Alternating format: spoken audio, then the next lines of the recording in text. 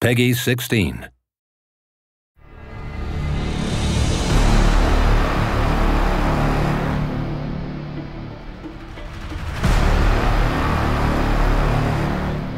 Most of us have abandoned our home in hopes of finding a new life among the stars. We do not know how many of our brothers escaped Megatron's blockade. I can only be certain of this. Just one transport remains.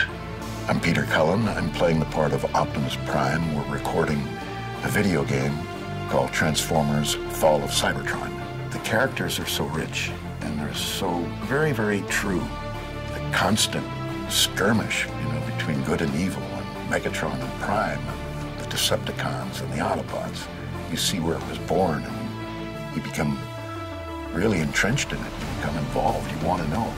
Everybody loves playing as Optimus Prime, leader of the Autobots. He's arguably the one of the most powerful Transformers that's ever been created. When you take control of Optimus, you are going to feel super powerful. He is the leader of the Autobots for a reason, and we've designed the game to make you feel that way. I love the way he's written. I mean, he he brings to life so many great character principles: the trustworthiness and the courage, the integrity, honor, dignity.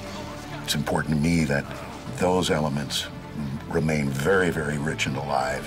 Doing Prime, although he's consistent, doing a movie and doing a, an episodic television series and then doing a video game, although the character remains the same, there's a different intensity and different approaches. But this Transformers Fall of Cybertron is, is a lot different.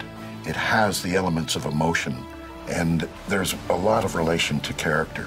And so this game is, is not only fun to do, and it seems much more of, a, of involvement into a story. And, and uh, I think that's going to be the real kick for it, I think.